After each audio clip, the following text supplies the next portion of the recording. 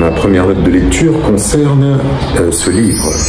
L'affaire Madame, le jour où la première dame est devenue un homme, anatomie d'une fake news, publié aux éditions Studifact de Emmanuel Anison, qui est grand reporter au Nouvel Obs. Livre que euh, j'ai lu hier, euh, que j'ai étalé sur tout mon samedi.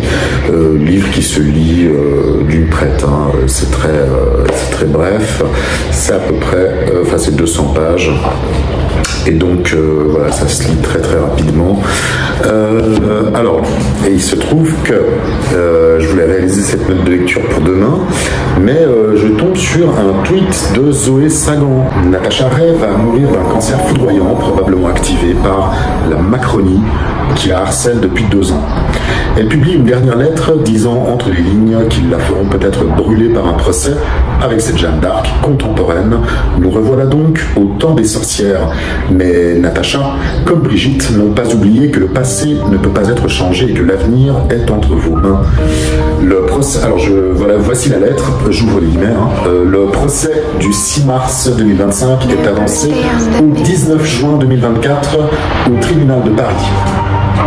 J'écrirai une lettre pour dire qu'aucune punition ne sera possible sur moi et que leur condamnation arbitraire décidée d'avance, ne me laissant aucune chance, ne provoquera qu'une fois de plus soutien et admiration de la part du public en France et dans le monde entier. Ils vont faire de moi la Jeanne d'Arc que je rêve d'incarner en me brûlant sur place publique pour que je serve d'exemple. Je ne paierai jamais aucune amende de milliers d'euros, mes comptes étant vides désormais. Ils ne pourront pas me condamner à de la prison pour délit de presse. Je suis gravement malade et mon état demande un suivi constant. Aucun stage de citoyenneté, aucun travail d'intérêt général ne seront possibles, donc à part une condamnation symbolique relayée dans la presse mainstream, que plus personne ne croit, me cracher dessus une énième fois, que peuvent-ils contre moi? Ça ne m'empêchera pas de continuer de parler de cette affaire et ça ne m'empêchera pas, euh, ça n'empêchera pas les autres de continuer à la relayer ici, en Russie, en Chine, outre-Atlantique, partout dans le monde. Ils ne peuvent pas me condamner, je le suis déjà atteinte d'un cancer avancé. Les médecins me donnent deux ans maximum, ce sera vite là. Je mourrai dans la souffrance, rongé par les métastases osseuses, après avoir été persécuté des années par la Macronie et sali par l'ensemble des médias français. Autant dire sous les honneurs quand on voit les hommages rendus aux véritables nuisibles de ce pays, tel le pédophile notoire Frédéric Mitterrand. Je préfère mille fois la condamnation glorieuse à la relaxe honteuse du garde des Sceaux et autres politiques corrompus couverts par la justice. Ma reconnaissance éternelle au talentueux Monsieur Brigitte. Et donc ça nous concerne pour cette note de lecture euh, ici du livre de Madame Emmanuelle Anison. Alors, euh, en fait, en réalité, euh, l'affaire Madame, c'est pour Emmanuel Anison, ça n'est quasi que exclusivement l'affaire Natacha Ray, en fait. Hein. et là, il y a un, sérieux problème, c'est-à-dire qu'à peu près, je dirais, 80% du livre parle de Natacha Ray et pas vraiment de Brigitte Macron.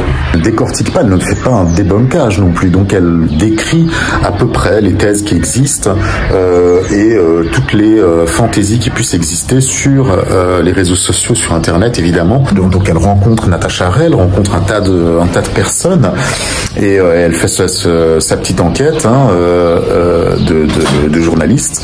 Très bien. c'est plutôt un bon livre. Hein, je veux dire, c'est un bon livre dans le sens où bon, ça vaut jamais les 20 euros, mais c'est, ma foi, c'est euh, le, marché du livre est, tel que voilà. Euh, alors pour ceux qui ont les moyens, bon bah, euh, si vous vous voulez passer un petit moment sympathique, hein, pourquoi pas. Hein, ça se lit, ça se lit très vite, hein, comme je vous l'ai dit. C'est 200 pages, mais qui se lisent vraiment. Moi, je l'ai étalé sur mon samedi. J'ai bu un café. Je l'ai déjà, comment dire, je l'avais déjà sur une terrasse, je l'avais déjà bouffé à un quart.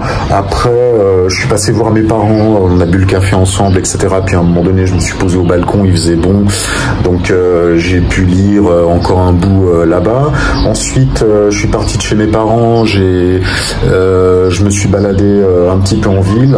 je suis allé vers la plaine de Plain-Palais, je suis à Genève, et donc il y avait le marché aux puces et j'ai fait un tour du marché aux puces.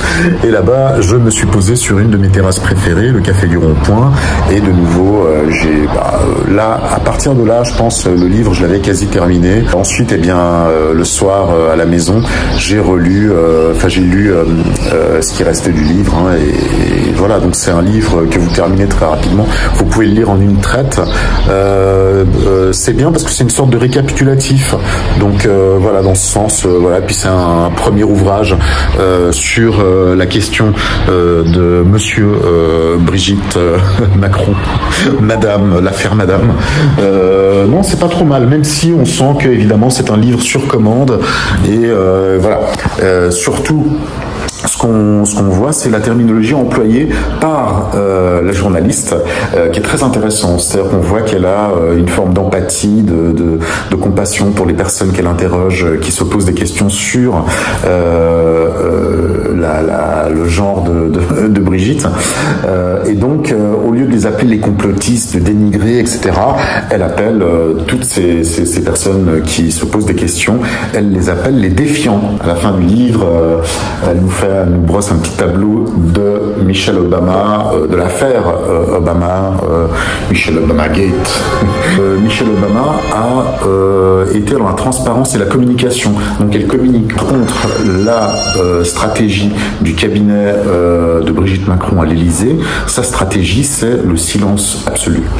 Et donc, ce qui, pour elle, la journaliste Emmanuelle Alison, alimente bien évidemment les fake news je, ne sais pas si la solution est de se murer dans le silence dans lequel aujourd'hui, euh, enfin effectivement, Brigitte Macron et toute sa famille en fait s'est murée parce que le silence nourrit aussi la suspicion. Jean-Michel, le silence nourrit aussi la suspicion. Jean-Michel, fucking man.